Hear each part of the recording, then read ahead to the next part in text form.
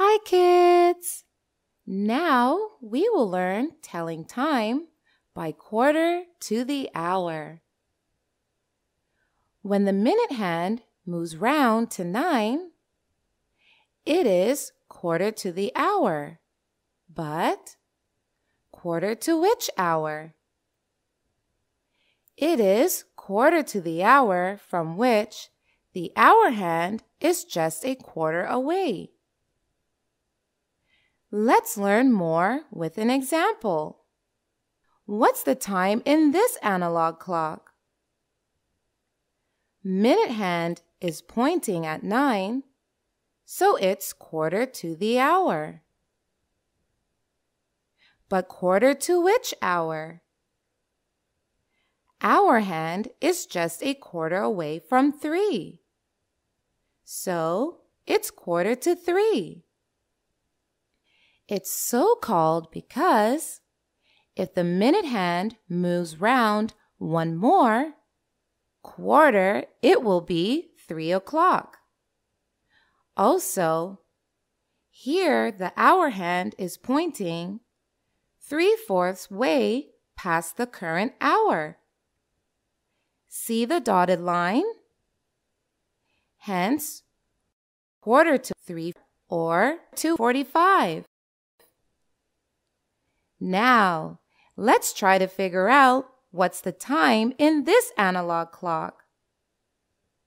Minute hand is pointing at 9. So it's quarter to the hour. But quarter to which hour? Hour hand is just a quarter away from 4. So it's quarter to 4.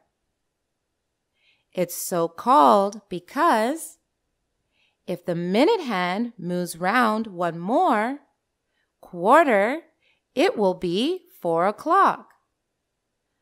Also, here the hour hand is pointing three fourths way past the current hour. See the dotted line? Hence, quarter to four or 345. Let's take another example. What's the time in this analog clock? Minute hand is pointing at 9. So it's quarter to the hour. But quarter to which hour? Hour hand is just a quarter away from 5. See the dotted line? So it's quarter to five or 445. Good. So what have we learned?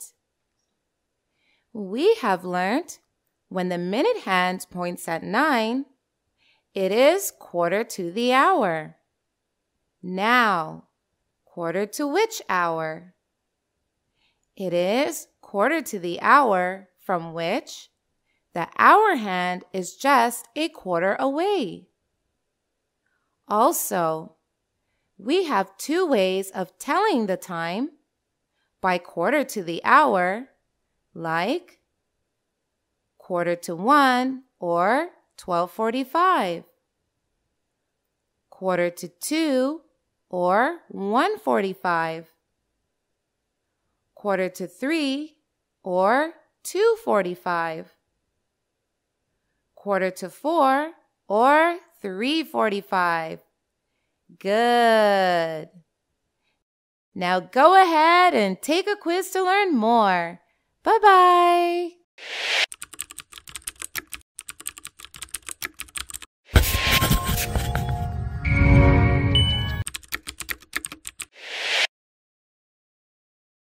TutWay has thousands of animated videos on math, English, and science to clear the core basics of these subjects.